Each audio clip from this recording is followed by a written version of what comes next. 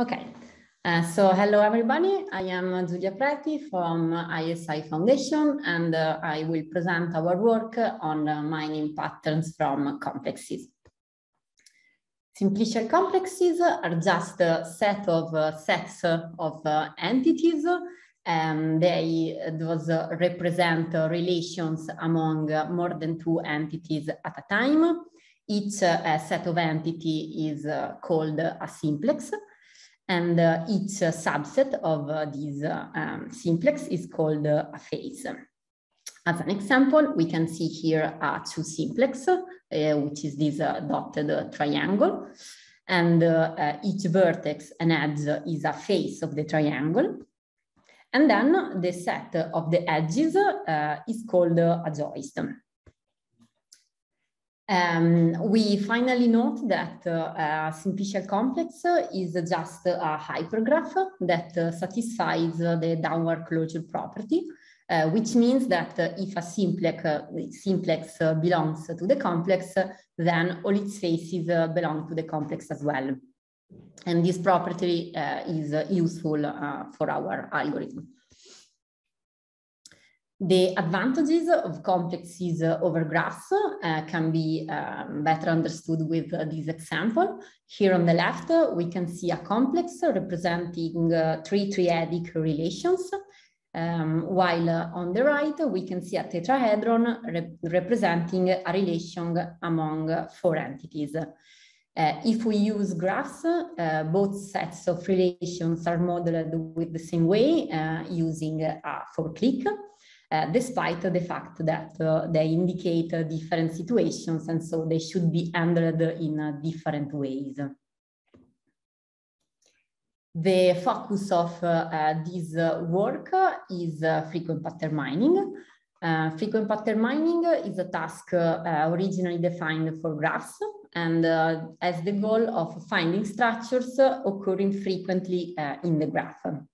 Here, for example, we can see a graph modeling a small co-purchase network where nodes represent product categories and edges indicate that the two products have been bought together. A frequent pattern in this case can be uh, this wedge, the donut pizza console, which appears three times in the graph.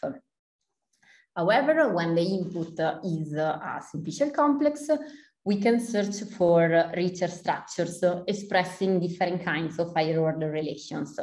So for example, we can consider the triangle here on the right, uh, which is a structure that cannot be defined for graphs. But uh, it is important because uh, the fact that uh, three, these three items have been frequently bought together suggests a strong relation uh, between them compared to knowing that only the pairwise relations uh, are frequent.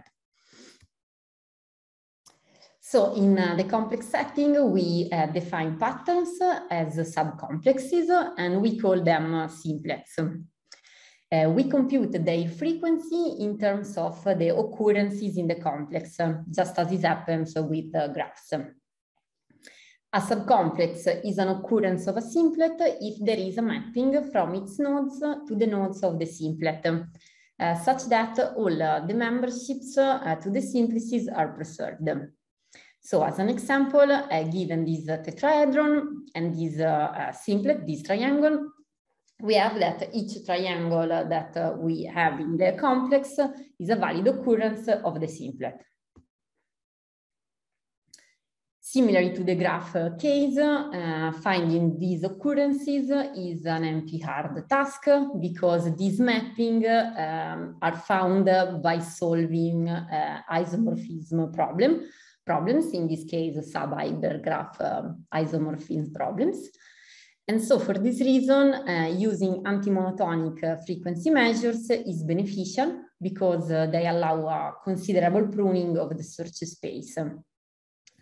And uh, among uh, these uh, anti-monotonic measures, uh, we have that the MNI support is uh, also uh, efficient to compute.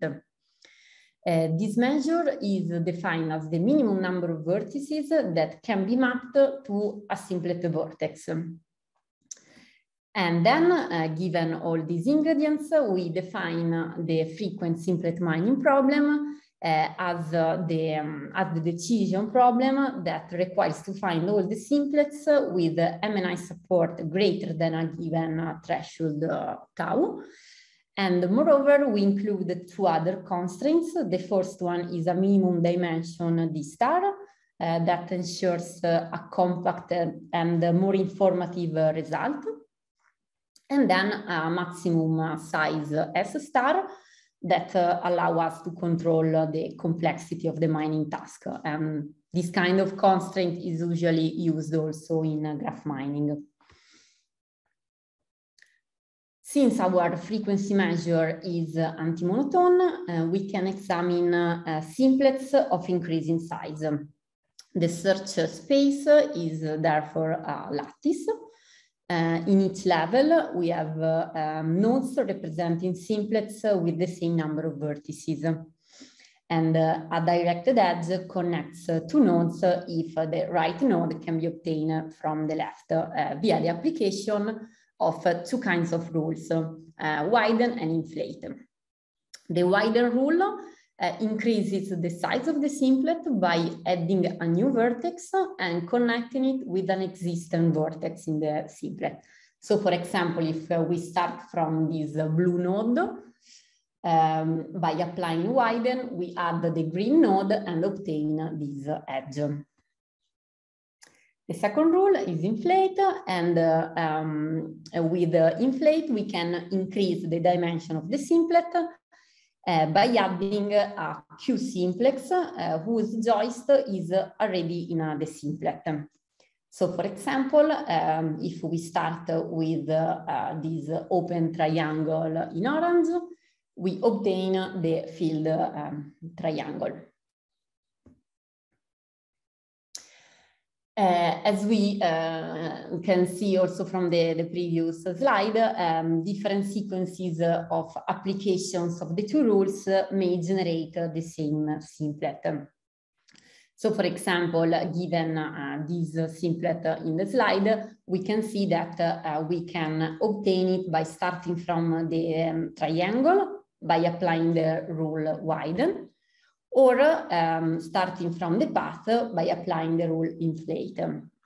So uh, to avoid uh, redundant work, we need a way to detect if a simplet was generated before.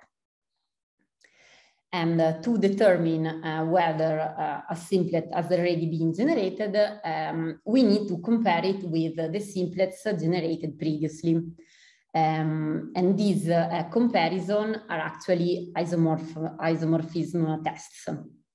So uh, to simplify this task and uh, avoid repeatedly computing uh, isomorphism tests, we just find the canonical forms of the simplets and compare them in place of the simplets. The canonical form of a simplet has the property that uh, isomorphic simplets have the same canonical form. And uh, the two canonical forms can be um, uh, compared in uh, constant time. Uh, however, since uh, there are, the literature is almost um, a virgin territory in the, in the context of sub, sub-hypergraph isomorphism, we uh, decided to reduce uh, the simplet canonicalization problem to uh, bipartite graph canonicalization. And uh, therefore, we uh, construct a graph where the left nodes represent vertices and the right ones represent uh, simplices. And then edges connect vertices to the simplices where they appear. Um, However, since uh, also finding the canonical form of a simplet uh, is not uh, easy, um, we um, propose to use um, delayed canonicalization procedure. Uh, so, uh, so that uh, we, um, we don't find the canonical form of a candidate new simplet until we actually need it. Um, in, in this procedure, we perform several checks of uh, increasing complexity, and uh, these checks are uh, necessary conditions for two simplets to be isomorphic. So the first uh, condition states that uh, the two must have the same dimension. Uh, the second one states that they must contain the same number of simplices. The third and fourth ones check the degree and size distributions in uh, the simplices.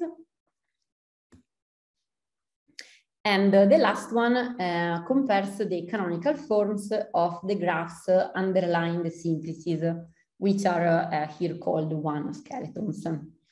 And the reason behind uh, this uh, comparison is because uh, finding the graph canonical form is an easier task than finding the um, hypergraph canonical form.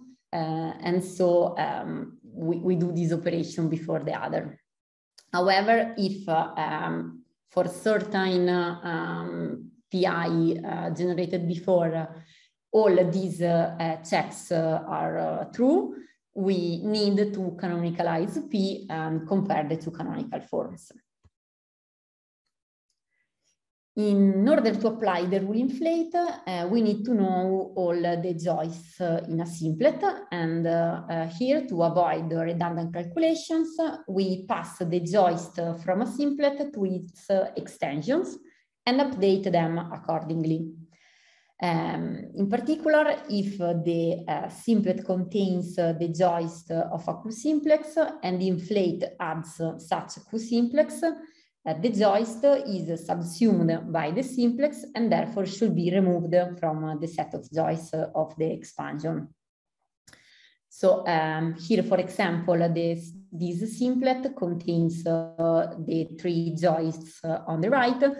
And uh, if we apply inflate and add this triangle, uh, we end up with um, only two joists remaining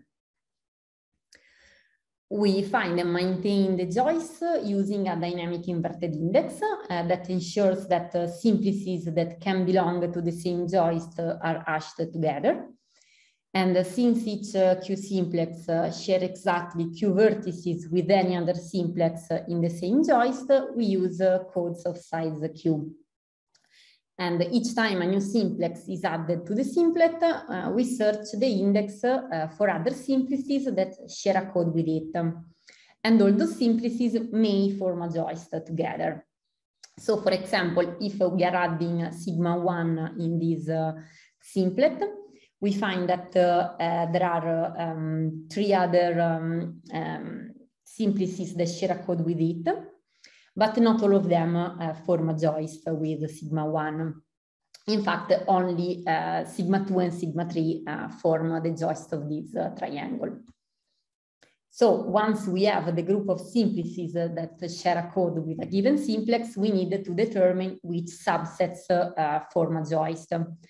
And we do so by extracting subset of simplices sharing a common vertex and then checking if the size is q plus 1. So in this example, we created these two subsets and only the first one satisfies the constraint. Our mining algorithm is a simplet growth approach that generates one level of the search space at each iteration, expanding only the frequent simplets uh, retained in the previous iteration. For each expansion, it searches for enough occurrences to determine whether it is frequent or not. And then the algorithm terminates uh, when either no frequent simplets are left to expand or when we reach the max size for uh, each of them. Here I will go very quickly. And uh, in order to find the occurrences, we just uh, um, have to uh, run some existing queries that trying to uh, assign candidates complex vertices to simplex vertices and so for each simplex vertex, we have a, a set of candidates and uh, we examine all the possible uh, uh combinations that satisfies all the um, membership constraints. And, uh, and we stop uh, as soon as uh, we can answer the question, is the simplet frequent or not? And so we don't need to find all the occurrences. In our experimental evaluation, uh, we uh, wanted to show that uh, higher order patterns uh, appear frequently in complexes. And, uh, and then we studied the evolution of uh, higher order social interactions in temporal complexes. So here, for example, we can see um, how the frequent simplets changes at different frequency thresholds. And uh, as you can see from the left chart, where with different colors we indicate uh, simplet with different dimension, we can see that uh, simplets of dimension three uh, persist over multiple frequency thresholds, which indicates that uh, these higher order structures are not uh, trivially frequent. And then by uh, comparing the distributions of frequent simplets of different complexes, such as the two here on the right, we can identify which uh, higher order structures characterize uh, each complex and discover also similarities uh, between complexes. In this case, we can see that these two complexes are quite different in, uh, in the complex uh, ATFs, for example, we can see that um, uh, the simplices are more interconnected than those in zebra because we can see that um, um, both lower and higher order simplices have uh, both high and low uh, frequencies. Uh, instead, those of Zebra are all, um, basically they all have the same frequency. Here we can see the running time of the algorithm for different data sets. We can see that the running time follows a concave curve and this is due to the fact that uh, higher frequencies, uh, um, at higher frequencies, uh, we have a few candidate frequency simplets, and therefore the algorithm terminates earlier. Uh, while on the other hand, at lower frequencies, uh, the presence of uh, higher order simplices in the complex simplifies the task of searching for occurrences. And so also in this case, we can terminate early. The last experiment regards face-to-face -face interactions. Face-to-face um, interactions in public places are important to study because they can help understand how transmissible disease propagate, for example. And in this context, persistent simplets of higher dimension indicate uh, patterns of communication with higher risk, as they represent uh, an interaction among uh, more parties that took place frequently over time. In uh, these charts, uh, we can see, for example, the evolution of the frequent simplets uh, over time for uh, two data sets, uh, primary and high, uh, which collect interaction between three children in primary and high school during school time. And here we can see the differences between these two schools.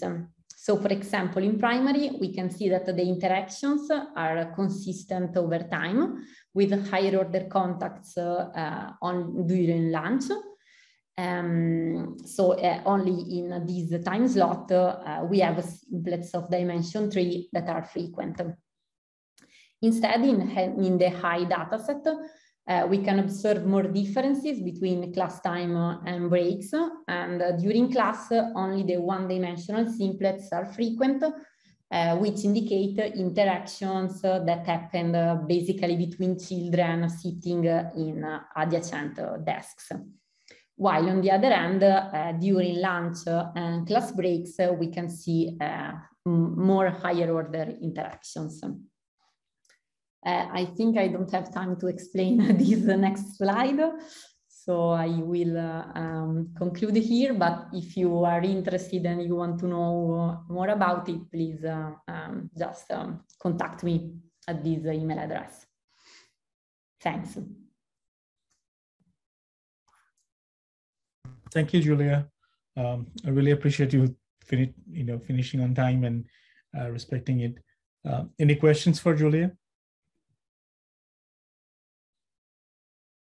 Well, we have three minutes left in the session before we get kicked out, and I put a question in the chat window. Um, I mean, I'm really curious. Uh, thank you all for presenting your work today, and I'm really curious that you know if we can, as a community, if you have a good, uh, some really strong insights on what what these methods are achieving today that 20, 25 years of graph mining could not do before. I mean, we have orders of magnitude data sets today, and they're much more complex than anything that was that existed before. So any any insights, thoughts, um, would appreciate hearing from you. I can start if you want. Absolutely, please. Well, um, basically, the um, thanks to these uh, uh, new, new these structures such as uh, hypergraph and simplicial complexes, we are able to better represent some kind of relations that uh, uh, the graph uh, just simplifies. So, for example, the fact that uh, we are all in uh, this same session talking um, um, among uh, each others um, is represented just as a, a clique in a, in a graph, but a clique also represents the fact that I may talk to you and another guy in, in, uh, in the session talks to me. And, but these are not the same things because uh, um, these are actually different kinds of uh, interactions. And so they should be treated in different ways because they can mean different things.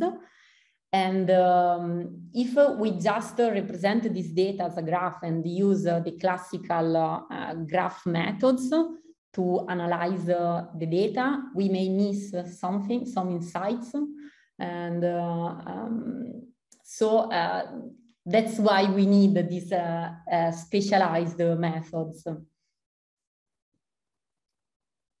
And um, any suggestions on data sets or applications where that are really primed for these methods? Well, uh, I think uh, all uh, these uh, social uh, um, social uh, interaction networks, um, because social interaction actually happens in groups. So um, it, it, makes more sense to use hypergraphs or complexes to represent them. And also in the context of um, biological networks, uh, for example, uh, it's uh, um, more correct to represent um, reagent and all the reactant as a, a direct hypergraph rather than um, a graph because a certain um, um, reactant may um, act on more uh, uh, molecules uh, at the same time. And uh, and actually the reaction is uh, uh, in um, is among uh, many uh, molecules. And so uh, we need a way to um, represent the fact that, that it happens between all of them and not um, pairwise um, so um, hypergraph um, can better model these these kind of reactions